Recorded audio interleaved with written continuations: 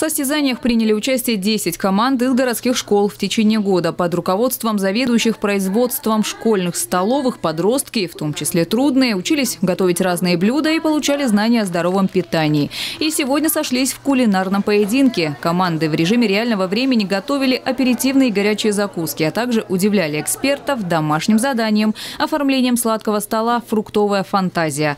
Проект имеет профориентационную направленность. Он знакомит детей с основами профессий специалистов общественного питания, технологов, поваров, кондитеров, пекарей. На самом деле это великолепный социальный навык. Неважно, куда ребенок пойдет учиться, он пойдет в одно учреждение или в профильное какое-то. Этот социальный навык просто поможет ему в жизни. На сегодняшний день э, профессия повара повара-кондитера очень востребована на рынке труда. И такая специальность, как поварское кондитерское дело, входит в 50 наиболее востребованных специальностей по перечню, утвержденного Министерством труда. Так, в прошлом году выбор в пользу профессии повара сделали 17 выпускников кулинарного клуба.